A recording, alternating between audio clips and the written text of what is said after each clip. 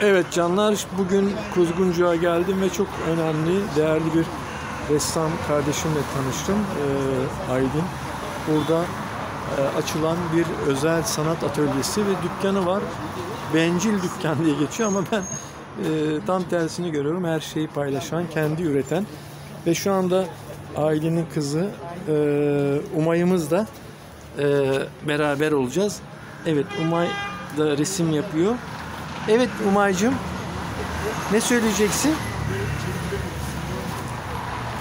Bir şey söylemeyeceksin. Peki o zaman annenle biraz konuşalım. Evet Aylin burada kurduğum bu atölye çok güzel.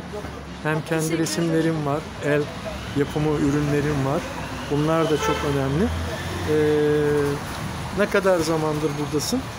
Ben 4 senedir buradayım ama burası daha eski. 2013'te açılmış. Evet. Ee, ben resim yapıyorum uzun yıllardır. Ressamım.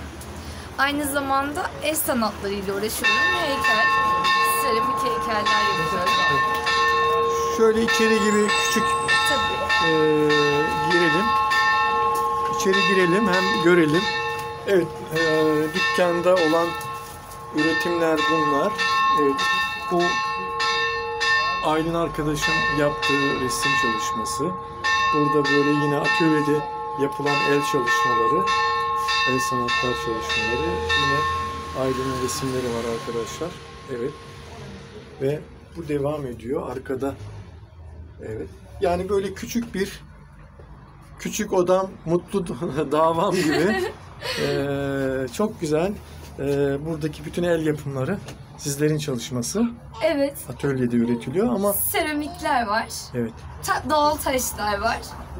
Baba üretiyor. Evet, bir babam da atölyeniz var. sanatçı. Birazdan da oraya Evet. uğrayacağım bir aksilik olmazsa bugün. Hemen geliyorum. Kuzguncu'nun en minik dükkanı. Ee, Evet çok burası. güzel. Evet. Şimdi Umay'dan da izin istiyoruz. Evet. Sana tekrar Aylin başarılar diliyoruz. Çok teşekkür ederim. Evet, Kuzguncu'ya geldiğiniz zaman arkadaşlar bu bencil dükkanın içindeki aslında bencil olmayan bütün yürek dolu eserleri, çalışmaları e, görebiliriz. İşte bakın bu gördüğünüz el çalışmaları.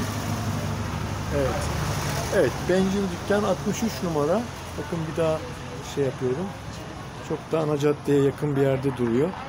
Aslında bu güzel bir örnek çünkü dünyanın birçok yerinde sanatçılar kendi ürünlerini böyle atölyeler açıp sergiliyorlar.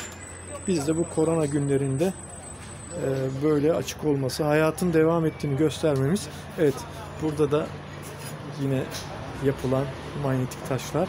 Bir de Aylin'in annesi var efendim. E, Ben de uğraşıyorum el sanatlarıyla. siz de çalışıyorsunuz. Ne güzel, ne güzel. Atölyemizde yardımcı oluyorum. Ne güzel. Ne güzel. Evet.